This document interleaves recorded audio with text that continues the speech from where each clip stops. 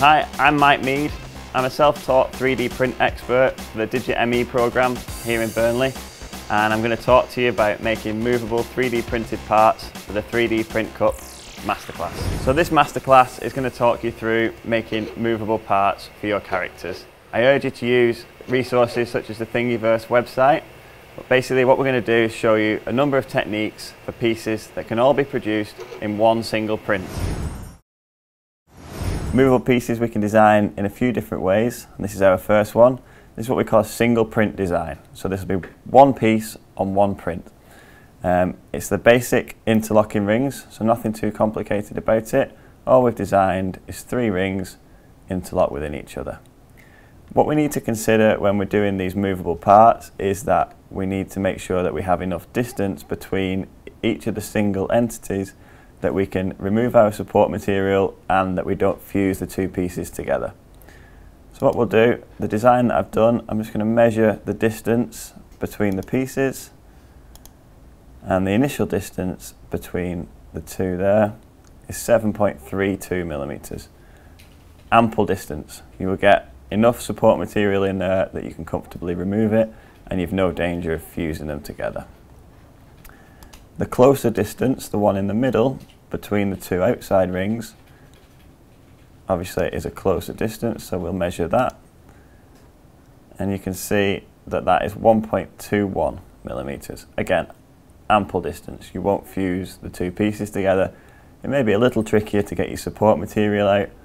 I wouldn't worry too much about that. Anything less than about 0.75, your pieces will join. They'll fuse and you won't have any movement from them. So following on from our design, we've got our three interlock rings. We've removed all the support material and we can see that we've got good flexibility. We've not fused the parts together, so our tolerance was okay. And we've got a nice moving piece that was done in one single print. So we're going to look at our second part Second moving piece that we can integrate into our design, uh, it's a basic hinge, a flat hinge. This is assembled in three separate pieces. They can all be done in one print, but they're three separate parts that are assembled afterwards. Uh, hopefully we will manage not to fuse the three together if they're separate pieces. So we've got the first half of our hinge. If we then bring in the second half of our hinge, notice two separate pieces and they wouldn't move very well without something to join them together. So we'll add in a pin through the top. So that pin you can see runs right through to the end and what we end up with is a hinge that we can move up and down. Notice that there's still some tolerance in there, there's still a gap running around the outside.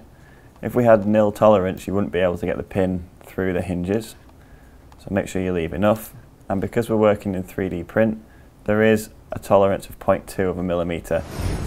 Okay, so in the design stage, I showed you a three-part hinge, two leaves and a pin down the centre.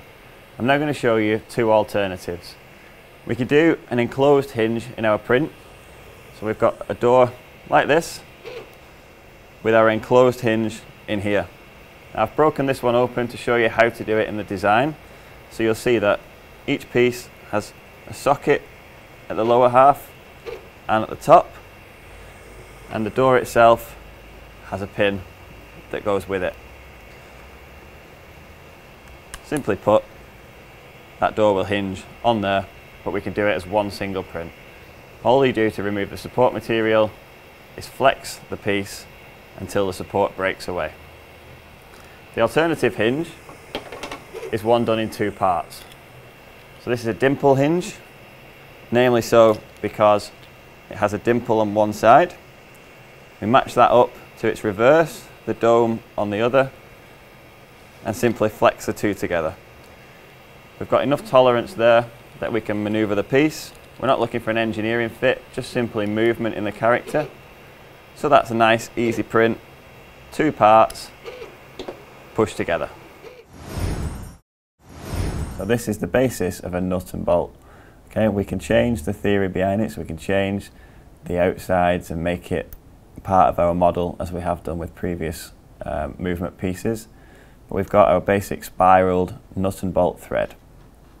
Obviously we need to make sure we set our tolerance right so that the nut fits over um, and we've got various bits for that. So we'll show you the other half of it. And again, we could change the outside to make it part of our model. We can change the length, the diameter, the depth, the height. Just keep the basic principles the same and always remember your tolerances between the two. So here it is in action. Our threaded piece as designed on screen and its corresponding mate with a thread down the inside. Simple process then of just screwing the two pieces together. Again, keeping it simple, nothing complicated, and you can build your design around the piece. So we're going to look at our next moving part, which would be a ball and socket joint. So we've made our first section, which is the ball piece with a single section on the bottom to join it onto our model. And we're going to add in the socket piece, which sits over the top. This is a model to give great consideration to your tolerances and your support removal for. Um, we'll move it into its two separate pieces. So we've got our ball and our socket, and as you can see, they have to fit quite snugly to go together. But the thing is, we've got to be able to remove the support material that the printer is going to fill the gap with. If we can't do that, we won't be able to move it around. The only way to remove the support from a ball and socket because of where it's going to be, all your support material is going to be on the inside, is to manipulate it with the two arms that are joining it to your model. If you make the arms too small or too thin, they'll break off before the support material will, and you won't be able to make them move. So we'll join those back together. So let's see some of those parts in action. We've printed out the arms, which are a ball and socket joint. We can see that on each piece there's a hollow underneath and a ball at the top. Note the grooves in the side to allow the plastic to flex and it's simply given enough tolerance that we can use the material to flex and just close in on itself. Simply push the pieces together and what we end up with is a movable and flexible part that even though it's in multiple pieces, was still printed from one single STL file. So I've been speaking about tolerances and keeping the gaps between parts so that you can get support out. Here you can see that we've got what is the basis for an axle. So we've got two pieces and an axle down the middle with a gap around each one. So we've kept that and I just want to show you how we can make that principle into a model.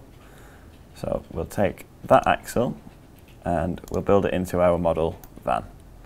So you can see there, basic van shape. And all we've done is we've taken that axle and added two pieces to the end of it.